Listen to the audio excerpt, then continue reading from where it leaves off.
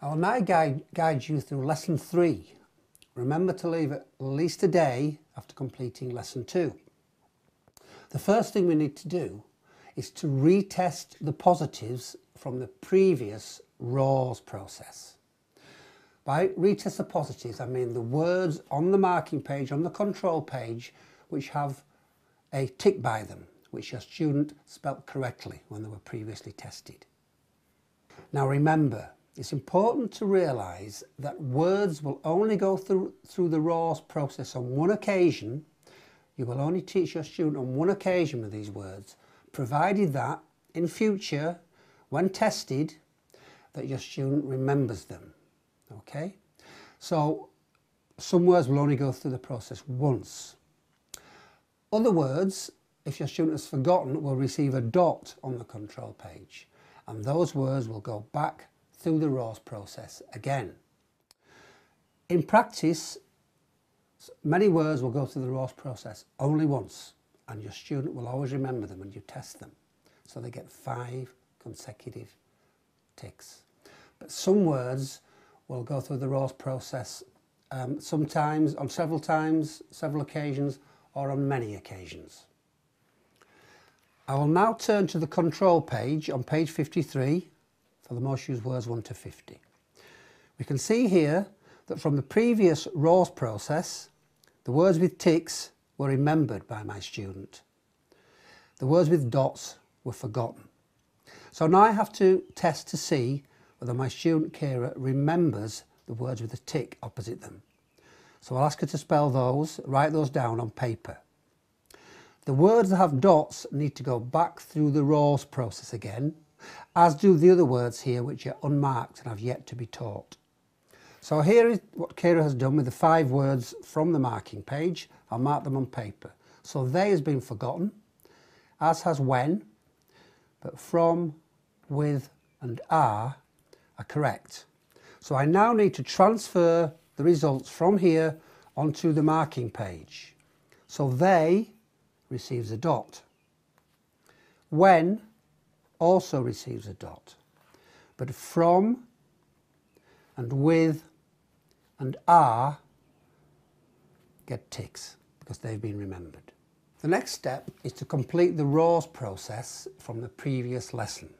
So I need to test my student's spelling of the words on row G of the RAWS form. So I'll take the RAWS form from the flap at the back of the manual, fold it so the words are hidden and place it in front of my student. If I turn to the spelling dictation box and I'll read the words for my student to write on row G of the spelling form. I shall now mark the words on row G. So I'll put a tick by B, can, do gets a dot, tick that, dot each, dot what, tick have, tick said. I'll put the date here.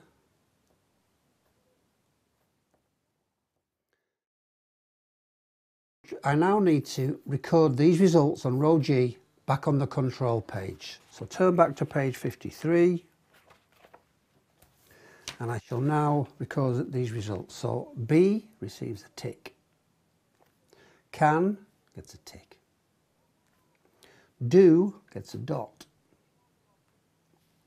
each gets a dot.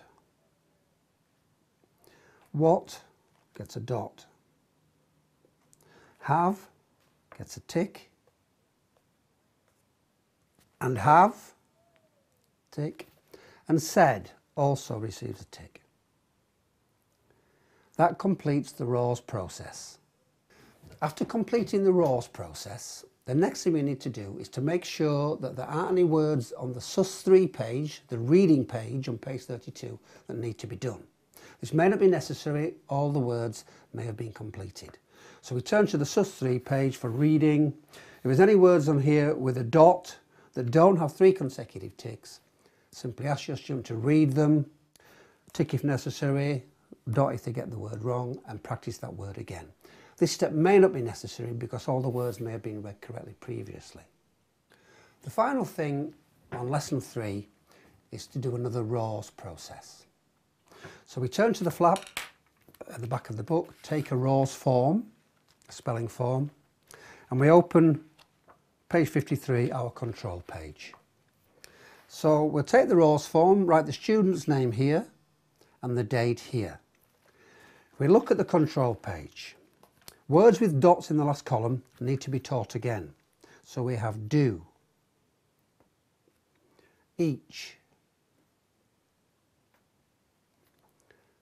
they, what,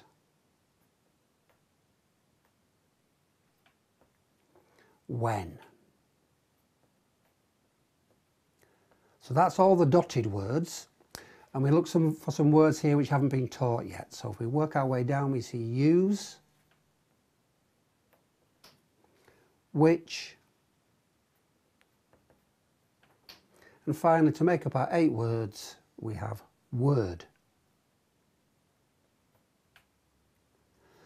The same eight words written on row A of the RAWS form, we'll now write in a spelling dictation box. Put the date here to match the date on the RAWS form and write the eight words in here. Now follow the third RAWS process.